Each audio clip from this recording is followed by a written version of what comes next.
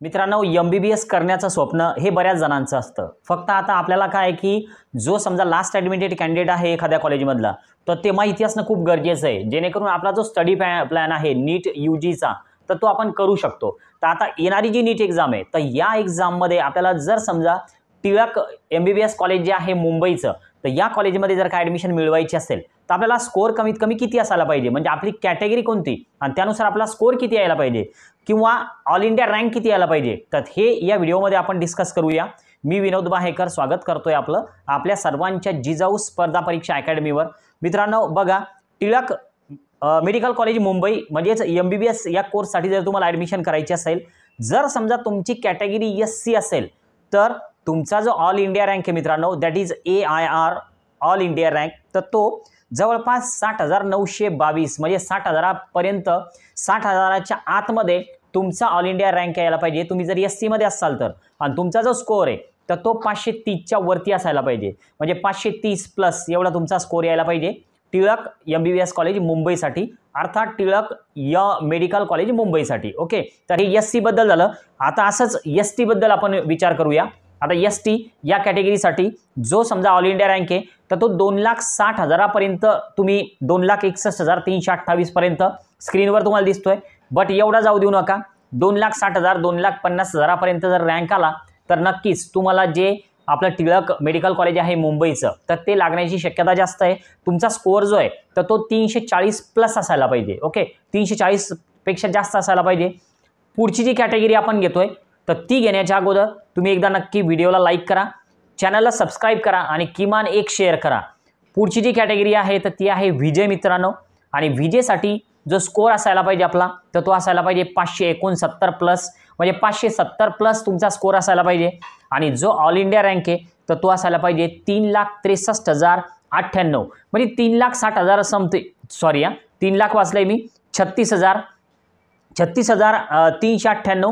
मी चुकून तीन लाख वाचलं आहे आणि नंतर माझ्याही लक्षात आलं की पाचशे एकोणसत्तर आणि तीन लाख रँक कसा.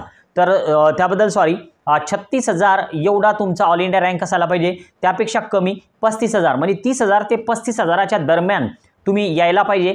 तरच तुम्हाला टिळक मेडिकल कॉलेज मुंबईचे जो सेफ स्कोअर आहे तर तो तुमच्यासाठी राहू शकेल विजेसाठी ओके आता पुढची जी कॅटेगरी मित्रांनो तर ती आहे एन टी वन कारण एन टीचे टाईप्स असतात. N T one N T two N T three तर एन टी वन जो आहे तर तो पाचशे पासष्ट स्कोअर एवढा तुमचा स्कोअर प्लस यायला पाहिजे हा पाचशे पासष्टच्या प्लस आणि तुमचा जो ऑल इंडिया रँक आहे तर तो यायला पाहिजे एकोणचाळीस हजार एकशे एकोणसत्तर म्हणजे एकोणचाळीस हजाराच्या आतमध्ये.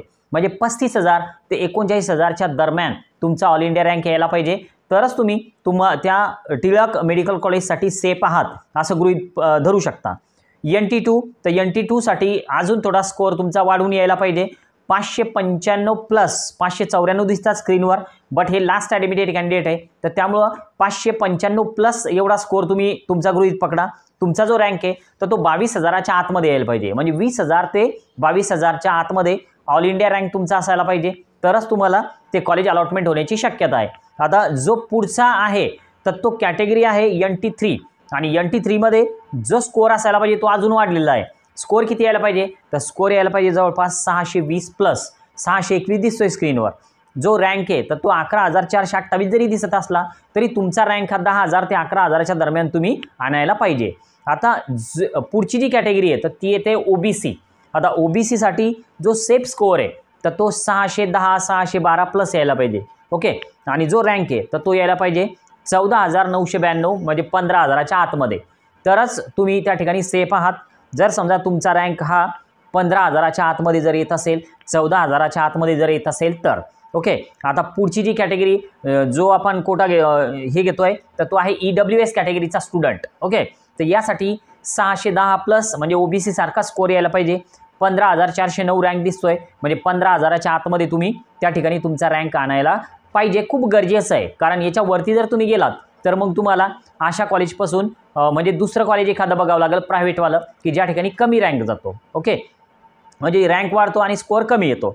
आता ओपनसाठी आता ओपनसाठी थोडं जास्त येणार आहे. सहाशे एकतीस प्लस एवढा तुमचा स्कोअर असायला पाहिजे. म्हणजे जवळपास साडेसहाशेपर्यंत तुम्ही स्कोअर आणणं खूप गरजेचं आहे ओपनसाठी आणि जो रँक आहे तर तो आठ हजाराच्या आतमध्ये यायला पाहिजे. म्हणजे सहा हजार सात हजार काहीतरी असा तुमचा रँक जर येत असेल तर नक्कीच तुम्हाला Tilak M B B S college जे आहे तर ते अलॉटमेंट होऊ शकतं. आता यानंतर वेगवेगळ्या प्रकारचे जे समजा डिफेन्स असतात कोटा जसं की डी वन असेल डी टू असेल डी थ्री असेल तर याबद्दल थोडी चर्चा करूया. तुम्ही जर डी वनमध्ये येत असाल तर तुमचा जो स्कोअर आहे तर तो पाचशे एकोणऐंशी प्लस पाचशे ऐंशी प्लस यायला पाहिजे. आणि जो रँक आहे तर तो तीस हजार आठशे सत्त्याण्णवच्या आतमध्ये यायला पाहिजे. तीस हजाराच्या आतमध्ये म्हणजे पंचवीस ते तीस हजाराच्या दरम्यान तुमचा रँक असायला पाहिजे. समोरचा जो आहे तर ते डी थ्री डी टू आहे. डी टू कोटा म्हणजे डिफेन्स जो आहे तर तो डी टूमध्ये येणारा. तर त्यामध्ये सहाशे चौदा प्लस सहाशे पंधरा प्लस सहाशे वीस प्लस असा स्कोअर आणि चौदा हजाराच्या आतमध्ये रँक ओके म्हणजे या ठिकाणी तुमचा जो डिफेन्स कोटाचा जो आहे तर त्या ठिकाणी सुद्धा चांगला स्कोअर तुम्हाला खूप अपेक्षित आहे. कारण कॉलेज चांगलं आहे. आता जर समजा तुम्ही डी थ्रीमध्ये येत असाल तर पाचशे पंच्याण्णव प्लस म्हणजे सहाशे प्लसच पकडा. आणि जो रँक आहे तर तो बावीस हजार नऊशे बारा म्हणजे बावीस हजाराच्या आतमध्ये घ्या. ओके आता समोर जे येतात ते ते पी एच फिजिकली हँडिकॅप्ट आता यासाठी एकशे पस्तीस म्हणजे जस्ट क्वालिफाय झालेला. आणि सात लाख सव्वीस हजार चारशे एक. तर तुम्ही जर जस्ट क्वालिफाय असाल तर समजा तुम्ही सेफ आहात बट त्याच वेळेस तुम्हाला सीट मिळेल असं काही नाही. तर त्यामुळं तुमचा सेफ स्कोअर काय? तर तुम्ही त्या क्वालिफाय स्कोअरच्या काहीतरी वर यायला पाहिजे. पी एचमध्ये असाल तर. अर्थात फिजिकली हँडिकॅपमध्ये जर तुम्ही असाल तर एकशे पस्तीस प्लस म्हटल्यापेक्षा तुम्ही तुमचा जो स्कोअर आहे तर तो एकशे पन्नास प्लस यायला पाहिजे. तरच तुम्ही सेफ आहात. आता जर समजा जिजाऊ अकॅडमीचं काउन्सिलिंग जर तुम्हाला करायचं असेल तर पाच हजार रुपये एवढा चार्ज आहे अकॅडमीचा यामध्ये काय काय येतं? तर अगदी सुरुवातीपासून शेवटपर्यंत सर्व गायडन्स येतं. तर ते व्हॉट्सअपला असेल झूम मिटिंगवर असेल ते सगळं केलं जातं. आणि सोबतच जर समजा तुम्हाला प्रत्यक्ष भेट घ्यायची असेल तर तुम्ही भेटायला येऊ शकता किंवा कॉलवरही बोलू शकता. चौऱ्याऐंशी एकोणसाठ एक्क्याऐंशी असा माझा चौऱ्याण्णव एकोणसाठ एक्क्याऐंशी एकोणनव्वद तेवीस या नंबरवर एक कॉल करू शकता. आपण चर्चा करूया. सतरा जुलैनंतर आपला काय प्लॅन ठरवायचं ते ठरवूया. ओके आज आपण थांबूया. Okay bye